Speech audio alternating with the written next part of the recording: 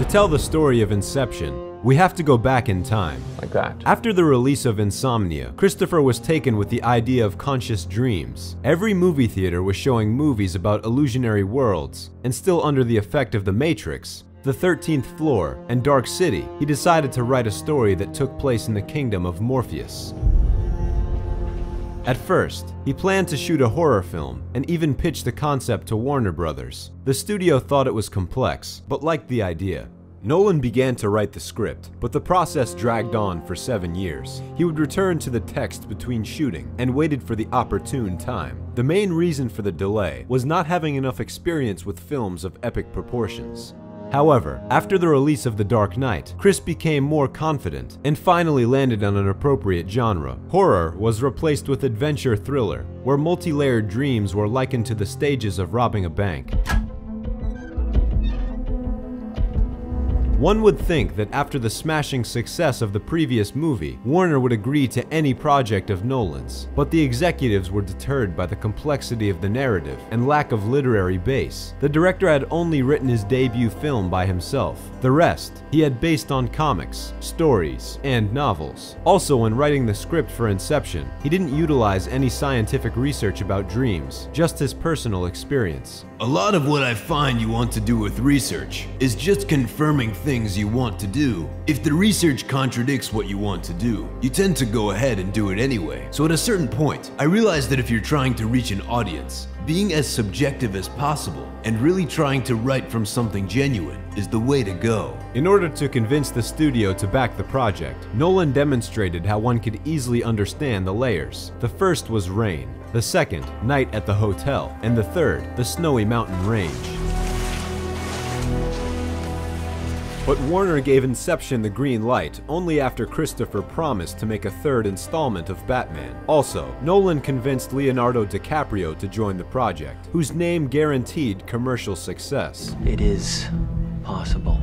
Leo was Christopher's only candidate for the lead role, he never imagined anyone else as playing Dom Cobb. The director had already communicated with DiCaprio about participating in his other projects, but just couldn't seem to find the right fit. This time, DiCaprio was inspired by the premise, which reminded him of Memento and Insomnia, but on steroids. Hey guys, hey. How are you? How you doing, huh? The actor plunged into the preparation, and even convinced Nolan to change the structure of the narrative. You, you asked me for Inception. I do hope you understand the, the gravity of that request. Leonardo and Christopher spent two months rewriting and enhancing the screenplay. You're not gonna wake up, remember? You're gonna die. Now just just step back inside. Come on. But DiCaprio wasn't the only one Nolan had envisioned in a role. The director had dreamed of working with Ken Watanabe, again after his cameo in Batman Begins. Impressive. The actor's charisma amazed him, so Chris wrote a role specifically for him. Do you want to take a leap of faith? Or become an old man filled with regret? As for Michael Caine, he took part in the fourth of Christopher's films in a row. So you, you want me to let someone else follow you into your fantasy? It so happens that Caine accidentally gave away the main spoiler of the movie. During an interview with BBC Radio 1, Michael was saying how he couldn't tell the difference himself between the dream and reality sequences, and asked the director to help him. Chris answered him in one sentence. Well, when you're in the scene, it's reality. Another longtime friend for whom Christopher reserved a role was Cillian Murphy. This is a dream. I should just kill myself to wake up. Right. Later, luck favored Nolan in his search for fresh faces. Pleased to meet you. Ellen Page was admitted to the project without an audition. The director explained the premise to the actress, and when he saw her keen interest, realized that he had found what he was looking for. Mind telling your subconscious to take it easy? It's my subconscious. Remember, I can't control it. Dileep Rao and Tom Berenger also happily joined the project. Uh, those bastards have had at me for two days. Joseph Gordon Levitt, on the other hand, was a second choice. Chris chose him after James Franco turned down his offer and decided to do Danny Boyle's 127 Hours. That's for sure. Nolan chose Tom Hardy because of his part in RocknRolla, though the actor thought that it was because of his part in the drama Bronson. My name's Charles Bronson. And all my life I've wanted to be famous. It was only during shooting that he realized that Chris had never even seen Winding Refn's film. Great. Thank you. Nolan also convinced Marion Cotillard to join the cast. And her role eventually made it into the cinematographer's list of the top femme fatale. I don't believe in one reality anymore. So choose. Choose to be here. Choose me. There was, of course, one more new face. Christopher's son Magnus made his debut in this film. Nolan got the cast together and while the decorations were being prepared, explained to the actors the thousands of symbolic references in the screenplay, present even in the names of the characters. The hero is Dom Cobb. The name Dom was borrowed from the Russian word for home, and reveals the protagonist's desire to return there. When are you coming home, Dad? How would you like to go home? If I know how much you want to go home. I think I found a way home. I need to get home. That's all I care about right now. And I've got to get back home. You need the simplest version of the idea in order for it to grow naturally in your subject's mind. And it's a very subtle art. Are you all right, Mr. Cobb? Cobb is the last name of a famous American architect who designed skyscrapers. That is why Dom's limbo is filled with them. You built all this? This is incredible. We built for years. Cobb was also the main character in Christopher's first full-length film. My name's Cobb. Mal means bad or unlucky in both Spanish and French, and clearly identifies her role in the story. The death was the only escape. Robert Fischer is a nod to world chess champion Bobby Fischer, and Maurice Fischer is an allusion to the artist Maurits Escher, whose drawings inspired the visual effects of the film.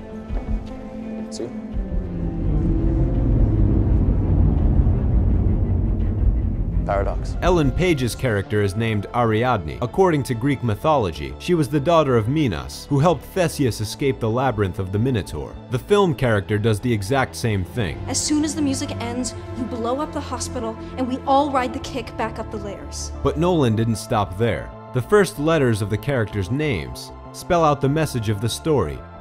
Dreams pay. Additionally, each member of the Inception team is a metaphor for roles in the movie industry. Cobb is the director, Arthur, the producer, Ariadne, the production designer, Eames, the actor, Sato, the studio, Yusuf, the technician, and Robert Fischer, the audience. Pay attention to the strangeness of the weather, the shift in gravity. None of this is real. In trying to write a team based creative process, I wrote the one I know Cobb. It's rare that you can identify yourself so clearly in a film. This film is very clear for me. It's the chance to build cathedrals, entire cities, things that never existed, things that couldn't exist in the real world. Another sly detail in the story is Edith Piaf's song. It doesn't only play upon waking up. Hans Zimmer explains that the whole soundtrack is based on pieces from the composition, which have been slowed down or sped up. Basically, the audience is listening to the same music the whole movie, which naturally weaves in with the dreams. All the music in the score is subdivisions and multiplications of the tempo of Edith Piaf's track. I was surprised how long it took them to figure it out. It wasn't supposed to be a secret. Even the timing of the whole film is an homage of sorts to Non, je ne regrette rien. The original track which Hans Zimmer found in the governmental archives of France is 2 minutes and 28 seconds long. The cinema version of Inception is 2 hours and 28 minutes long. And after the credits finish rolling, the song starts again. In doing this, the director added another level of film industry metaphors and compared the end of the movie with a dream from which the viewer eventually has to wake up. I am impressed. Your condescension, as always, is much appreciated, Arthur. Thank you. Nolan not only found his inspiration in music, but in film also. He repeatedly called the movie On Her Majesty's Secret Service, the best of the James Bond franchise. This movie about Agent 007 inspired him to add in a winter scene.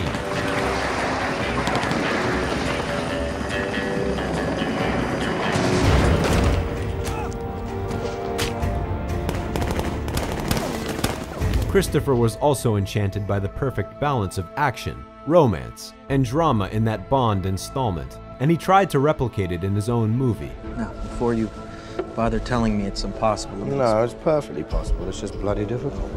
Another source of innovation were the Japanese anime Akira and Paprika, from which Nolan extensively borrowed imagery. Feel that?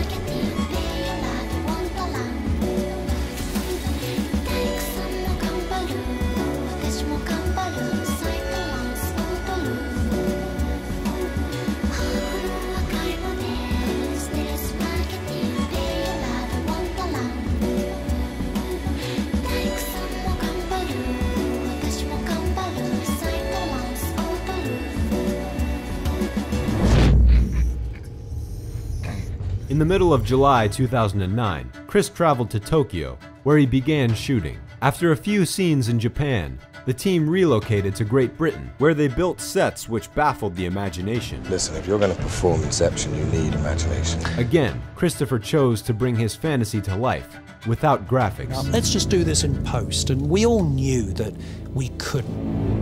It just had to be done properly in order for it to be a believable thing. Though in a film where reality itself is in question, graphics couldn't be avoided. In most cases, the CGI only enhanced the special effects, but did not replace them.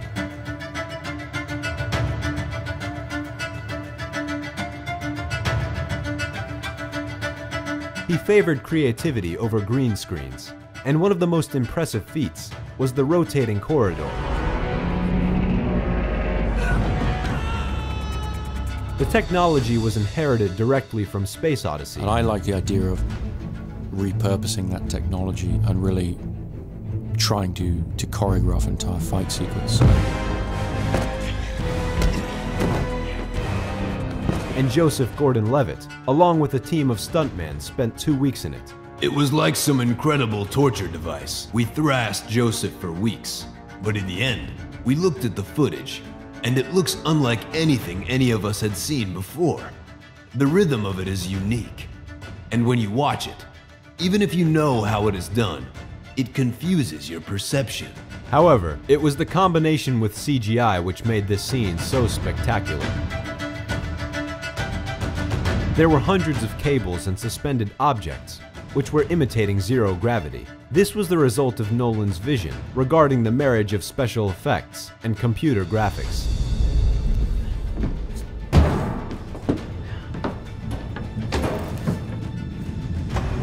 Trains on the road, waves on the streets, Escher's actual staircase, and the explosion in the square. The only scenes which were completely computer generated were the ones in Limbo and the scene by the bridge. The Infinity Mirror refers to Nolan's earlier works, Doodlebug, and the Memento poster. The chase and fall from the bridge were filmed over four months in Los Angeles, and actors falling in slow-mo spent a whole day in the minivan. The film crew faced its final hurdle in Canada, where they built the set of the fortress.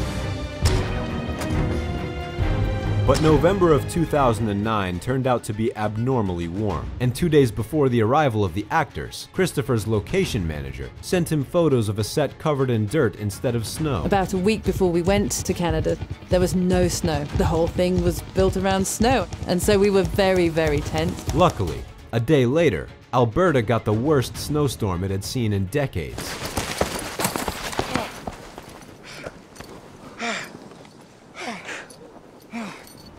Thanks to several similar strokes of luck, Nolan was able to finish filming early and save 10% of the budget. Is it possible?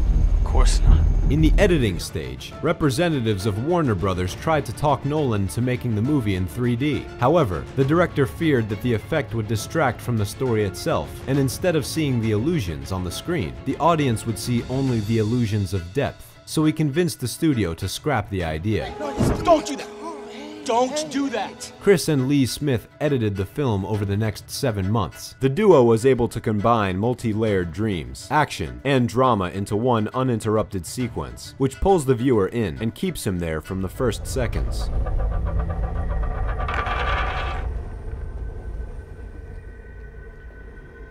This was when a broad promotion campaign was launched. The studio invested $100 million in advertising the film, and it paid off when Inception's profits exceeded 800 million. The stronger the issues, the more powerful the catharsis. This result not only flattered Christopher and Leonardo's egos, but it also lined their wallets. Before shooting, they stipulated in their contract that they wanted a percentage of the profit, rather than a fixed sum. Money. Not just money. Despite the financial success, once again, Christopher was not able to win Hollywood's most important prize. Inception was nominated for eight statuettes and won half of them. Oscar goes to Wally Pfister for Inception.